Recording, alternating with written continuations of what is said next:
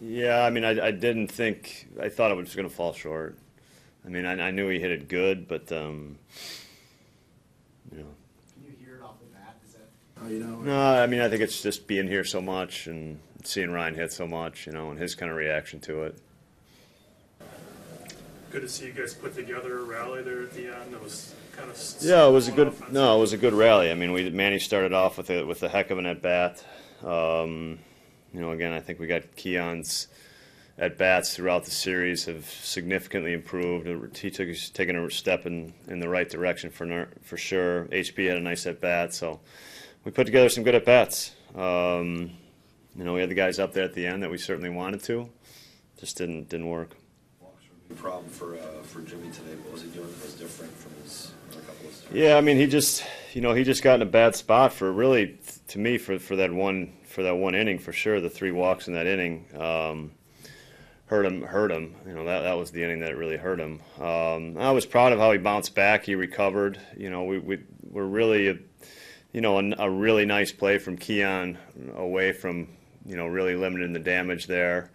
Um, but he came back in the fifth and, and did a nice job and got an out in the sixth for us. So he battled back. Um, you know, it's it's obviously not the outing that he wants, but he battled back and, and got through it.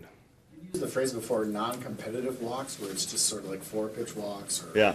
down early. Is that sort of what those were, where he's out of whack and just? Uh, he had he had yeah. I mean, there was a couple. You know, he had a couple. I'm not the, the right-handers in there that were that were, you know, some rough rough at bats. But um, you know, like I said, he battled back, and if, if you know, would have taken a great play by Keon. But um, I was proud of how he came out and pitched the fifth and into the sixth. in uh, to get your was it your first run or Villar scores? Do you think he created that run? Uh, Braun hit a bouncer to the third baseman, and Villar sort of was dancing off the bag. It looked like maybe they could turn to. I don't know if that play stood out to you with Villar sort of helping to create a run. That was our, our second run. Yeah, for the lead. Yeah. Um, yeah, I mean it's you, you know I mean we get a, I think we get a run either you know I mean it was you know if he goes to second Villar score so wasn't a wasn't a big big deal to me. How about just Villar? A couple of walks, a base hit. It just sort of continues what he has been doing on this homestand. Yeah, no, he's he started to swing it really well. You know, left-handed. I, like I said, I think we've um, you know we got him back to a place a good place for sure.